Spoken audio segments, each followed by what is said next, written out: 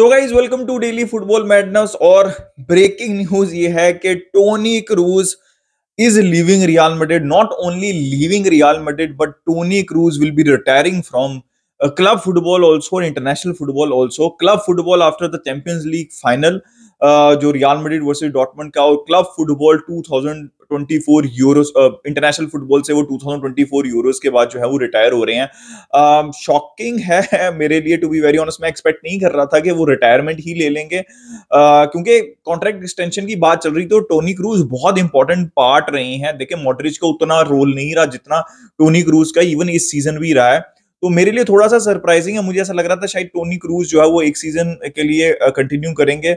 But this is how Toni Kroos is भाई। वो इसी तरह के डिसीज़न लेते हैं। यार ब्रिलियंट प्लेयर और one of the best DMs in the world in the history of this sport also बहुत ज़्यादा डेकोरेटेड प्लेयर भी रहे हैं। पाँच चैंपियंस लीग जीती हुई हैं। छठी जीत सकते हैं अब अगेंस्ट डॉटमंड और वर्ल्ड कप जीता हुआ है। आई थिंक पाँच छह क्लब वर्ल्ड कप जीते हुए हैं।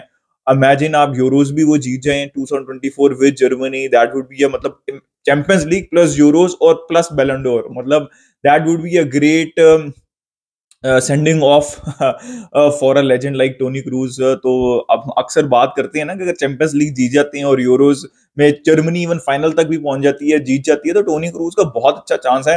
And I would love to see players like Toni Kroos getting recognition मैं हमेशा जैसे बात करता हूँ हमेशा फॉरवर्ड्स को ही वो बैलेंडोर मिलता है या फिर रिकग्निशन मिलती है, लेकिन डीएम्स को जो कि सिस्टम रन करते हैं स्पेशली टोनी क्रूज जैसे डीएम्स जिनसे आप अपना बॉल ले सकते हैं, ठीक है he is very good on the ball अशारे अशारों में मतलब I am going to miss that obviously वो क्वालिटी निकल रही है रियल से तो I am happy as a Barca fan but भाई वो इतना टाइम है कि इशारे करते हैं वो आपने चैंपियंस लीग के अंदर भी देखा है और बारसा की गेम में भी अल्कासिको में भी देखा है। विनीशियस दोनों टाइम पे विनीशियस ही थे, वो बायन के अगेंस्ट और बारसा अगेंस्ट जिसमें उन्होंने इशारा किया था कि भाई तू निकल बॉल आ रही है। तो this shows the quality of a player like Toni Kroos और यार मतलब आप इमेजिन करें कि हाउ इट्स नॉट कि ही इज़ मतलब ये भी चीज़ है कि भाई जो उनका ट्रांसफ़र था from Bayern to Real Madrid it is one of the most underrated मतलब one of the best deals ever in this in this game आप आप इमेजिन करें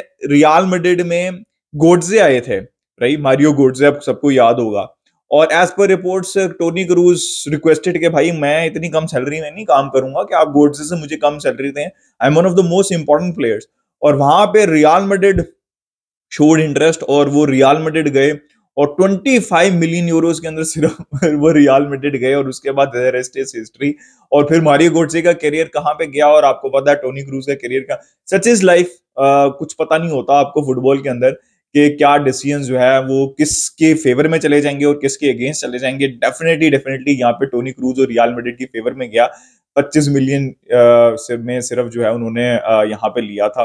तो यार एब्सोल्युटली एन अमेजिंग प्लेयर और अमेजिंग करियर और देखिए ना, कुछ प्लेयर्स ऐसे होते हैं, चाहे आप जिस मर्ज़ी क्लब के हों, चाहे आप राइवल भी हों, जैसे मैं मॉडरिच की बात करता हूँ टोनी क्रूज की बात करता हूँ, और भी बहुत से प्लेयर्स है जिडान की मैं अक्सर बात करता हूँ even Cristiano Ronaldo also for what he has achieved with Real Madrid in his career you have to respect these players achievements और आपको बस, आप आप इमेजिन कर सकते हैं कि भाई यू ये ऐसे प्लेयर हैं जो कि बारसा में भी होते हैं तो दे वुड इतने वर्ल्ड क्लास प्लेयर हैं they would have worked at Barcelona also थोड़ा बहुत मुझे वो है कि चलें, थोड़ा सा एक्सपीरियंस जाएगा रियाल मैड्रिड में से तो बादशाह के लिए थोड़ा सा बेहतर होगा। थोड़ा सा वो मैं लास्ट वीडियो कुछ एक आध वीडियो में आपको पहले भी एक्सप्लेन कर रहा था कि वो थोड़ी सी एक विंडो ओपन होगी बार्सिलोना के लिए।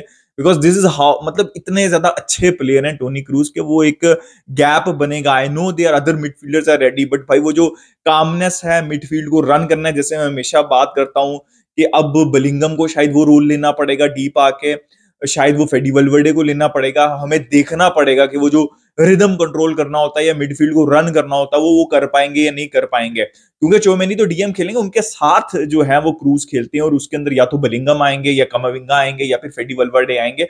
Will have to wait and see but यार ब्रिलियंट टोनी क्रूज और uh, जैसे मैंने कहा one of the best DMs in the history of this sport one of the most decorated players और absolutely brilliant यार। Uh, अब आप बात कर लेते हैं थोड़ी सी मॉडरेज की। इसलिए मुझे ऐसा लग रहा था पहले न्यूज़ आ रही थी, शायद क्रूज ने इंडिकेशन दिया होगा कि भाई जो है वो मैं एक्सटेंड करूँगा तो शायद फिर मॉडरिच में से और क्रूज में से किसी एक को रखना था but I think eventually Kroos ने ये डिसीज़न कन्वे कर दिया होगा देन दे डिसाइडेड कि हम मॉडरिच को, जो कि अच्छा डिसीज़न रियल मेडिट के लिए एक्सपीरियंस चाहिए तो हम मॉडरिच को एक साल, अब मोस्ट लाइकली यही लग रहा है कि Modric will continue for one year and everything is indicated लेकिन Toni Kroos will not be there for Real Madrid यार बारसा की न्यूज़ के ऊपर मैं जल्दी से डिस्कस कर लेता हूँ, चावी भाई वेरी अनफॉर्चुनेट सिचुएशन है.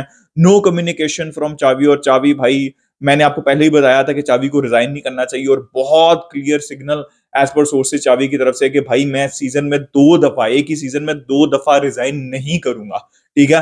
अब आप हमें मुझे सैक करो और मैं कंपनसेशन भी लूँगा और बिल्कुल ठीक है भाई। मैंने बहुत दफ़ा ये चीज़ एक्सप्लेन की है कि चावी का अगर ये स्टांस लेते हैं तो वो बहुत ठीक स्टांस होगा। बिकॉज़ भाई, आप अगर अपना माइंड अभी तक नहीं बनाया, कब का रिजाइन किया हुआ है? तो भाई, क्या क्या रीजन है कि दोबारा वो रिजाइन करें? तो खैर सोर्सेज सारी यही रिपोर्ट कर रही है। मैंने आपको पहले ही कहा था, बहुत से लोग कह रहे थे कि भाई, ये तो सारा मीडिया की हाइप है।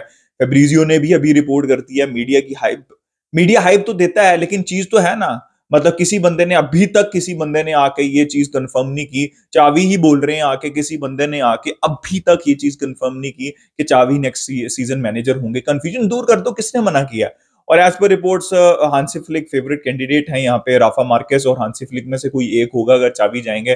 बट फाइनेंशियली ये डील अच्छी नहीं लग रही मेरे हिसाब से तो भाई, देखिए पेप मोस्ट लाइकली अवेलेबल होंगे। अब वो आएँगे नहीं आएँगे वो अलग कहानी है। क्लो मोस्ट लाइकली एक साल बाद अवेलेबल होंगे लुइस एनरिके मोस्ट लाइकली एक साल बाद अवेलेबल होंगे, और भी और ऑप्शंस हो सकती हैं। तो अगर आप तीन महीने से हांसे फ्लिक और राफा मार्केस के ऊपर शोर नहीं है तो आप एक हफ़्ते में कैसे शोर हो सकते हैं? इसका मतलब यह है कि आपको क्लैरिटी नहीं है। आप किसी ना किसी चक्कर में, आपको अब कोई चीज़ पसंद नहीं आ रही चावी की तो आप उनको सैक करना चाह रहे हैं, लेकिन क्लैरिटी नहीं है। तो जब क्लैरिटी नहीं है तो गिव चावी अनदर ईयर स्पेशली वो जो सब कुछ हुआ है, आपने उनके तरले मिनते किए है कि आप दोबारा रेजिग्नेशन अपना वापस लें तो उसके बाद just continue focus on the goals Guido Rodriguez Sergio Roberto जो भी चल रहा है focus on the transfer market rather than the manager right now because वो फाइनेंशियली भी वायबल नहीं है. एंड आफ्टर वन ईयर एक साल का ही कॉन्ट्रैक्ट ना, एक साल के बाद एक्सटेंशन तो डिपेंड करता है ना चावी की परफॉर्मेंस के ऊपर. तो आप फंसेंगे नहीं, ठीक है? लेकिन पता नहीं क्या सोच रहा है, बोर्ड लपोटा क्या सोच रही है I have I have no idea because this is this is plain disrespectful towards Xavi और I don't know what they will do बाकी यार हेक्टर फोर्ड की न्यूज़ चल रही है कि Hector Fort will extend for Barcelona और Hector Fort as per sources के अगर चाबी कंटिन्यू करते हैं तो फ़र्स्ट चॉइस बाल्डे होंगे और सेकंड चॉइस जो है हेक्टर फोर्ड होंगे।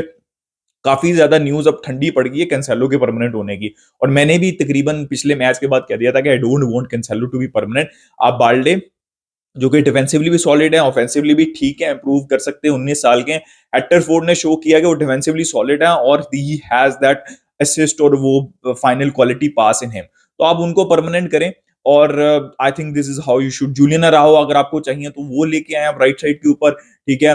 कुंडे और बाकी आपके तीन सेंटर बैक से कंटिन्यू करेंगे। राहो की न्यूज़ जो है वो मैंने आपको पिछली में दे दी थी। मुझे अभी भी लगता है कि most likely Araujo will stay but you never know with Barcelona so guys more और लेस जो है वो यही न्यूज़ चल रही है जो मैंने आपको बता दिया but Toni Kroos the legend is retiring and leaving football अपना opinion they regarding everything in the comment section like कर दिए सब्सक्राइब कर दिए मिलते हैं नेक्स्ट वीडियो में।